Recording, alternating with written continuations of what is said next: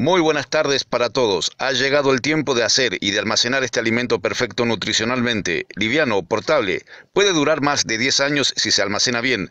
Una ración como esta equivale a un buen almuerzo o a una buena cena. Hoy te traigo a la pantalla, a pedido de cientos, el Zampa.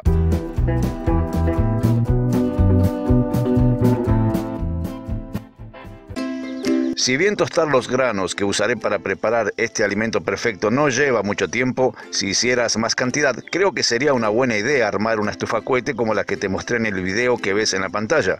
Son ladrillos comunes, de los que se usan para levantar paredes, y no hace falta pegarlos con mortero, se arma y se desarma fácilmente ahorrándote muchas horas de gas o electricidad. Será una gran alternativa si por la razón que sea algún día fallan los servicios vitales que necesita una ciudad.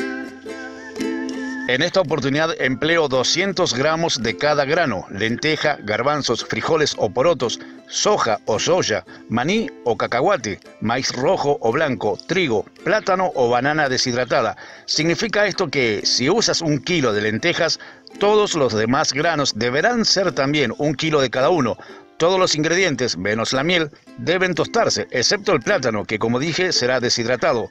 Para estos 200 gramos de cada grano usaré un kilo de miel y un kilo de plátano, que es la proporción que se necesita para que las raciones, una vez transformadas en bolas, sean fáciles de armar y endurecer, siendo a la vez blandas a la hora de consumirse.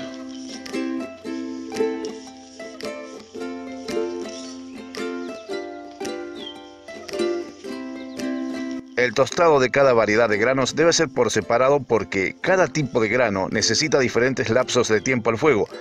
Pero sabrás que el grano ya está en su punto simplemente porque está tostado. Algunos se cocinan rápido, otros en cambio demoran un poco más, pero no mucho.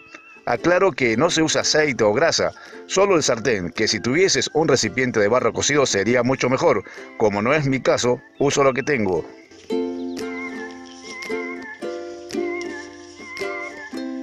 En este país llamamos a estas semillas porotos, pero en otros países frijoles. Puede hacerse con semillas rojas, blancas o cualquier otro tipo de frijoles. Te aconsejo usar una cuchara de madera para mezclar y también que no te alejes demasiado tiempo del sartén o las semillas se quemarán. Esto suele hacerse en familia o con grupos de amigos para fomentar la unidad y tratar